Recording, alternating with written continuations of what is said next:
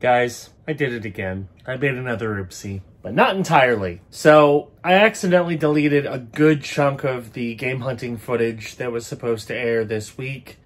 I don't know why I've done that recently. I've been very good at not doing it, but not all of it. And in fact, the stuff that was not deleted is going to be the main focal point of this week's episode as we attempt to find games that I can flip for a profit. And pick up a few games for the collection as well. It's the Bargain Game Hunter.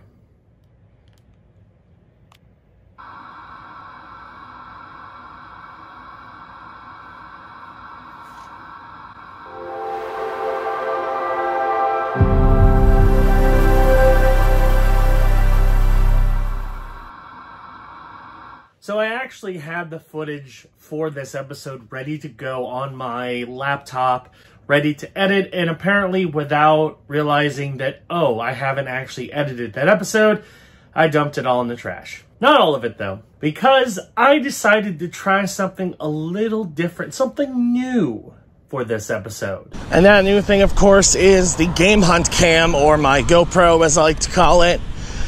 So I usually, when I film things for this series, I usually just pull out my phone and kind of like do a quick scan. But this time I figure, you know what, I'm going to show you the whole process.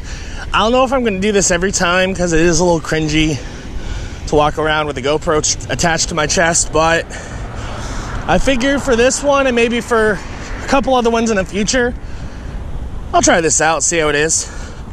So we're gonna head to our first pawn shop and see if we can find anything. So the rules, again, I'm only going to be looking for games that I can flip for profit at GameStop. And we're also only going to be picking up games that are going to be decently profitable. So I'm looking for mostly double ups. I might be going willing to go a little bit under, but it needs to be close to a double up. We're not really looking to pick up for the collection. It's mostly for flipping. So let's head to our first pawn shop, see what we can find. So the GoPro footage you see is going to be intercut between me explaining how things go or how this particular game hunting trip went. Now, before I recorded any of this, I also did some game hunting to add to the collection. Now, the main focus of the challenge is to find stuff that I can flip for a profit, either at GameStop or on eBay. But I did a little game hunting beforehand, and I actually kept one of the games I picked up while doing this video. We'll show those at the end. So let's take a look at our first pawn shop, which is Value Pawn. Now I went to both Value Pawns this time. Now this was, this Value Pawn has done me well over the years. They do individually price their games and at the time of the recording, they had their games in this little section along the wall. In addition, they had a case that had some controllers and like switch systems and stuff in it. So rather than talking about it, let's see how I did.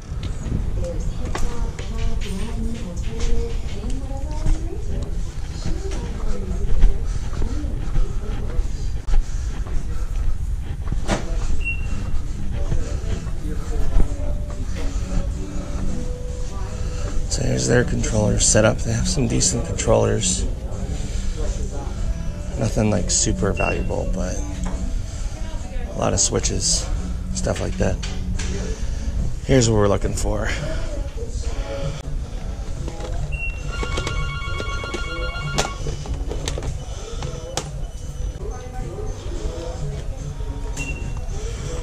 It's a maybe.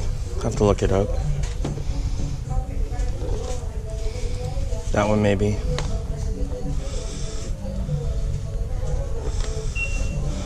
That one maybe.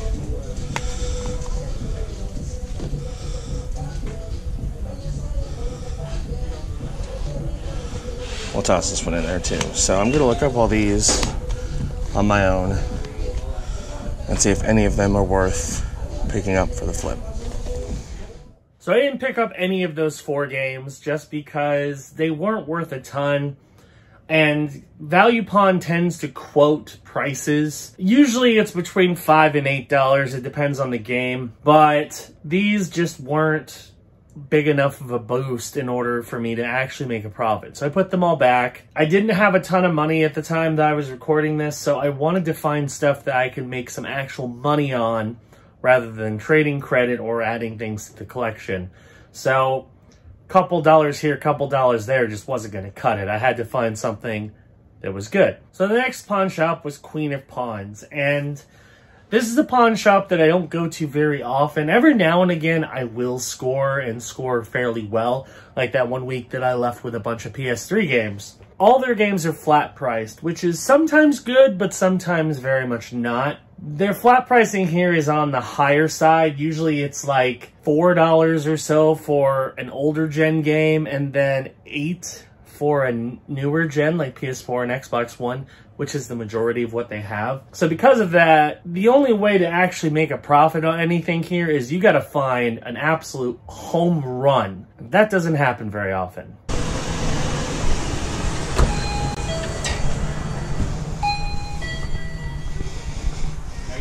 Doing all right. How about you?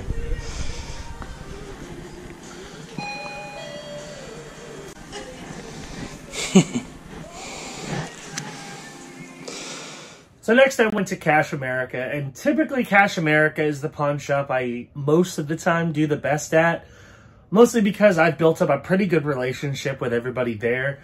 I come in all the time, they know I come in all the time, they usually make me good offers on things if I find anything good. But there are times where there's just nothing there, and especially because I narrowed down what I was looking for to just things I could make a profit on for flipping, it wasn't always a guarantee that I was going to find something at Cash America.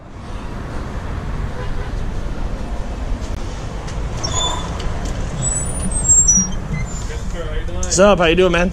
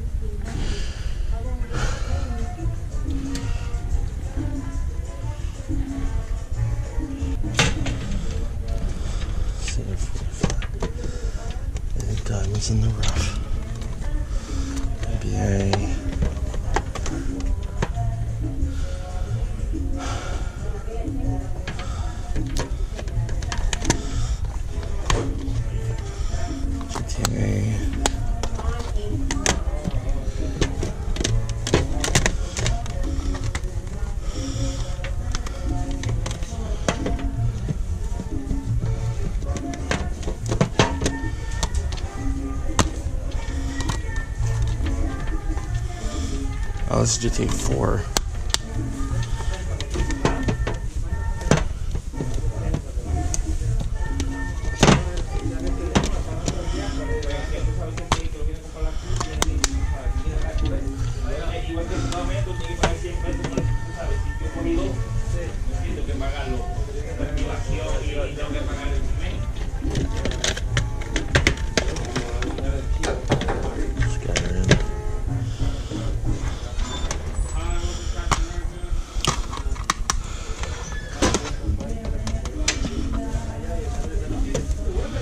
Alright.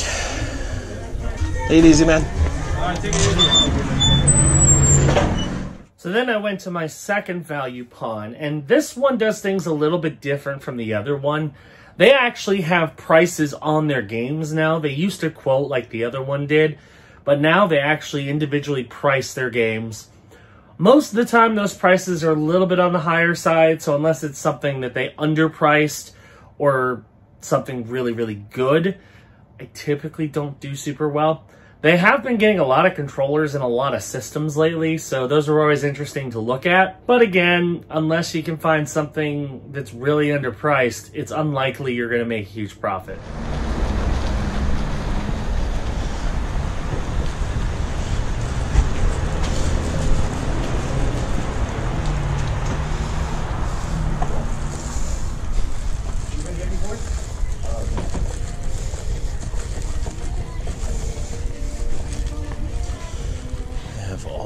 Consoles. So many consoles.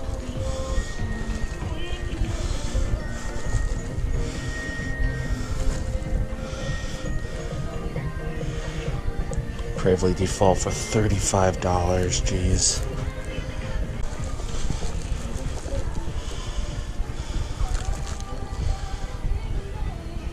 It's all the same stuff. Battlefield. Looks like uh, the Kirby game's still there. Yep.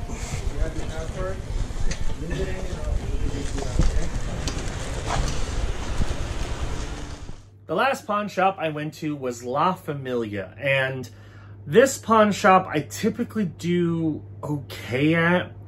They individually price their games, and they're usually fairly reasonable. The big thing that I enjoy about this particular pawn shop is oftentimes they're willing to slash at least a dollar or two off each game.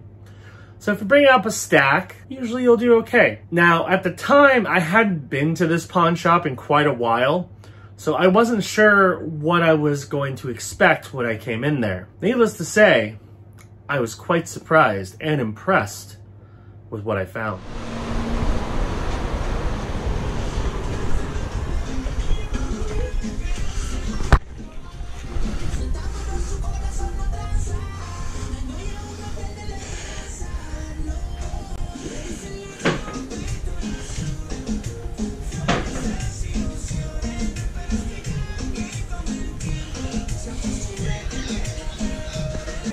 Potential here, folks.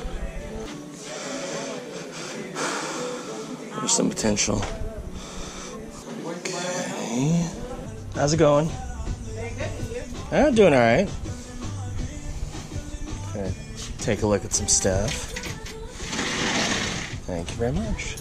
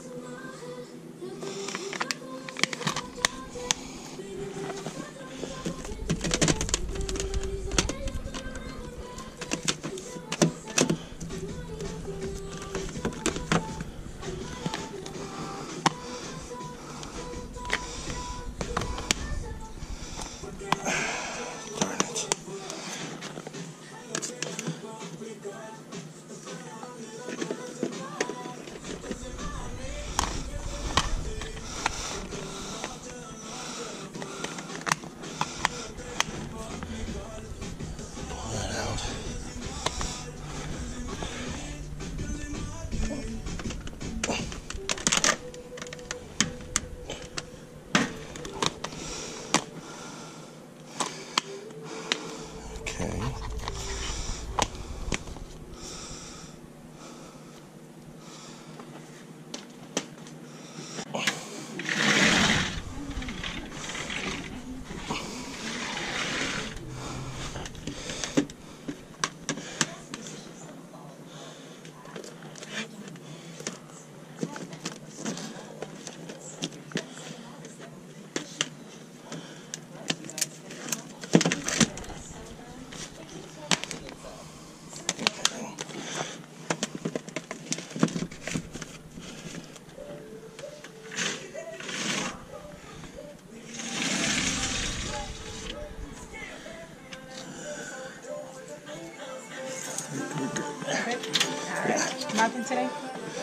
No. Possibly some stuff. Um, I don't know if you knew this case is empty. Oh, you knew that already? Oh, well, Thank you. Thank you, it. of course. Uh, possibly interested in these if, if you could possibly work something for me. What are these random PS3 games? Just chilling? Pricing it. I'm not sure if he's pricing or he took it in. Okay. Mean, look just to see.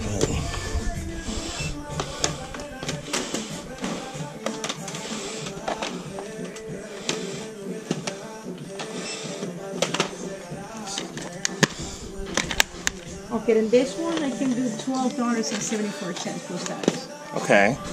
I'll give you the total in a minute. But in this one I can do eight dollars and forty nine cents. Okay.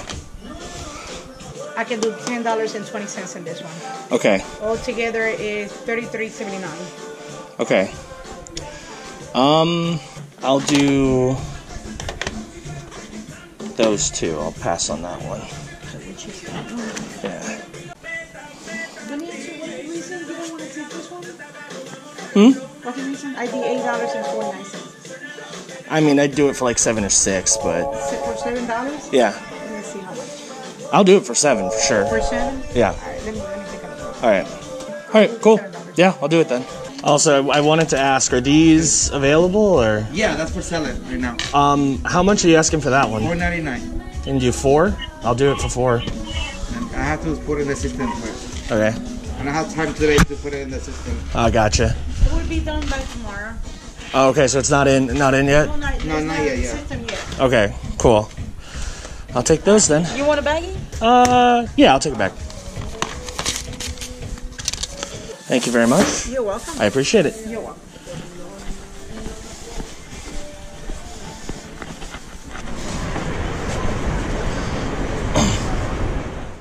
So as you saw in the footage, I did come away with three games. I hope to come away with four because I noticed, as you saw, a little stack of PS3 games that hadn't been put out yet. And one of the games was a copy of Minecraft. Now, anytime you can find Minecraft, you can get it for cheap enough, it's absolutely worth picking up. Because Minecraft not only sells on every platform, but also has pretty good trading value at GameStop, worst comes to worst. Unfortunately, they were not in the system yet, so I couldn't buy it. Now, I did go back the next day and it was gone. It apparently sold within a couple hours of being put out. All the rest of the PS3 games were out, but that one was not, so I missed out on it, unfortunately. But them's the breaks. However, I still did very, very well at this stop. So as you saw, I picked up three games, two of which I got to flip, and one of which I got for the collection. And I think I did pretty well on all fronts. So the game I picked up for the collection, and the main reason why I picked this up is this is a fairly new game, and to find it at a pawn shop, but also for a pretty cheap price, is kind of shocking. So I was like, you know what? I'm gonna pick it up. I've never played the original version of this. This is a good opportunity for me to do so. Right, it's a good game. SpongeBob Battle for Bikini Bottom rehydrated on the Xbox One. This came out, I believe, at the end of 2020, so this is not an old game at all. Maybe a year old. And the fact that it was already at a pawn shop for a pretty low price is impressive. I paid $12 for this out of pocket, and it's worth 18 so pretty solid pickup to add to the collection.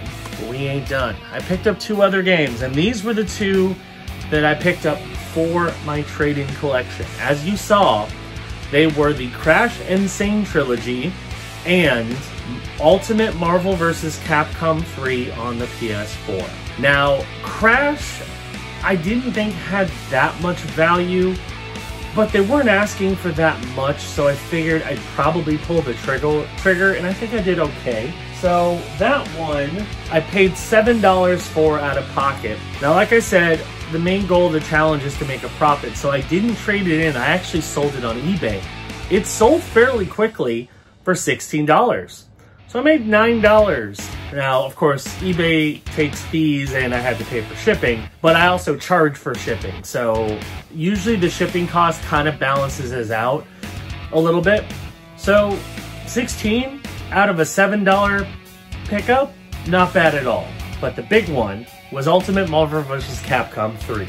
Now that one I knew had some value. I actually have a copy myself on the Xbox One. The main reason why it has some value, besides the fact that Marvel vs. Capcom 3 is an awesome game, especially the Ultimate version, the PS4 and Xbox One versions were only available in physical form at GameStop. They sold it right around the time that Marvel vs. Capcom Infinite came out for 30 bucks a piece. And I guess they didn't make that many of them because their value has pretty much skyrocketed. Now, this one was one where as soon as I saw it in the case, especially for the price they were asking for, I knew I had to pick it up. I didn't realize until I looked it up on eBay how much that game is actually worth. I paid $10 for that game at the pawn shop.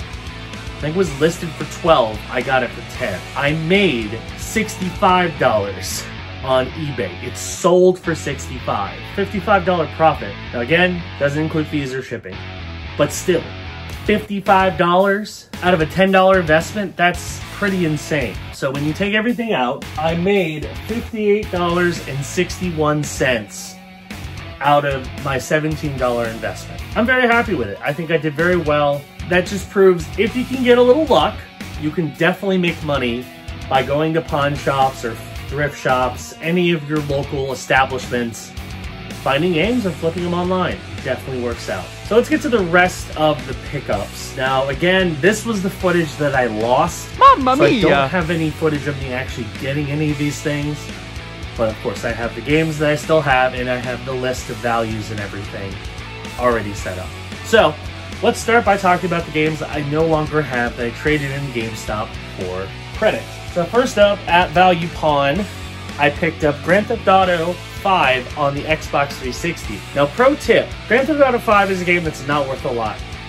But if you can find the last gen version, so the PS3 and Xbox 360 versions, they're actually worth more in GameStop credit than the PS4 and Xbox One versions. Just because I think at this point there's so many copies of the PS4 and Xbox One GTA 5, every GameStop is just swimming in those. But the 360 and PS3 versions are a little more uncommon, so because of that, they'll pay up for those. So the 360 version, the other nice thing is the fact that because it's a 360 game, pawn shops tend to undervalue Xbox 360 and PS3 stuff. So that's oftentimes where you can do the best. If you can find older gen games that you know are worth some money, you can pick them up for dirt cheap and flip them for a nice profit. GTA 5 on the 360, I paid two bucks for it, value pawn. It was worth eight in trade in at GameStop, so pretty solid bump up there. Next up, I picked up Resident Evil Village, Resident Evil 8 on the PS4. They only a 15 for it, which is not bad. I wish it was cheaper, obviously, but considering it's a 2021 release and a still a fairly expensive game, I thought 15 was worth the gamble, and turns out I was correct. I was able to flip it for GameStop, to GameStop, for $24.20. So almost a $10 credit profit by flipping that game. So pretty solid start, I'd say. All right, next up, one other game that I picked up, not for the challenge, but when I went back to La Familia and looked at those PS3 games, they did have one PS3 game that I knew had a little bit of value, and that was Skate 3. Now, obviously, I would have preferred that Minecraft game, but Skate 3 is definitely worth picking up.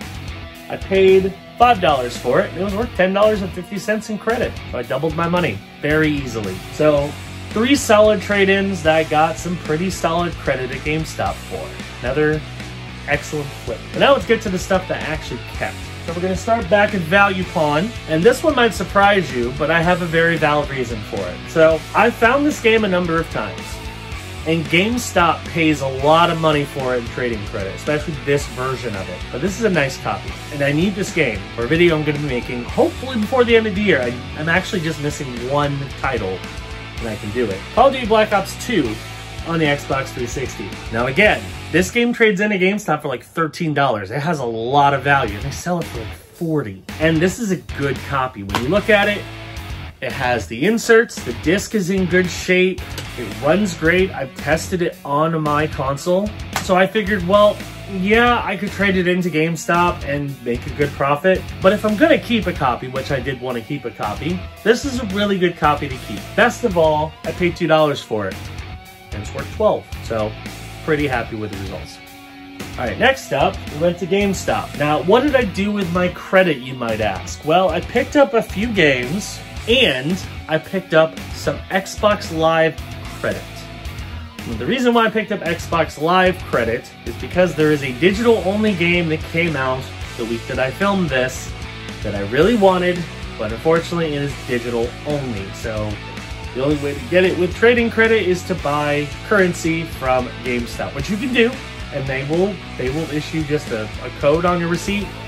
So again, if you have a ton of GameStop credit and you have some digital games you want to purchase on your console, or if you have like an Xbox Series S and want to add to your collection, That way, you can still trade stuff into GameStop and just buy currency.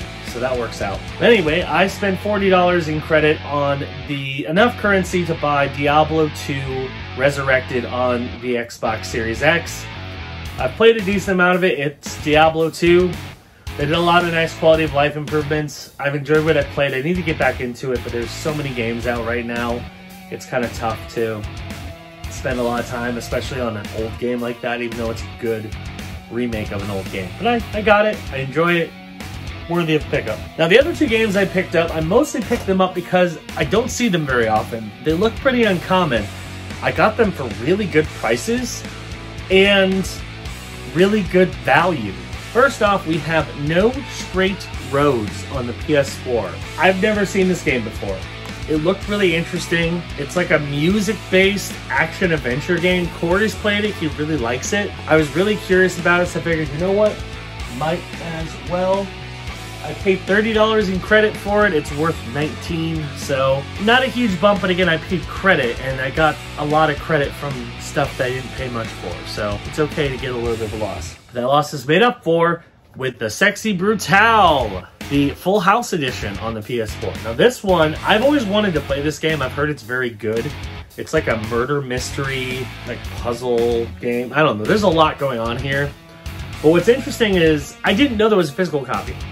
Not only is there, but this is a special edition that includes like a full art game manual, a soundtrack, a bunch of really good stuff. And GameStop very much undervalued it. I paid nothing.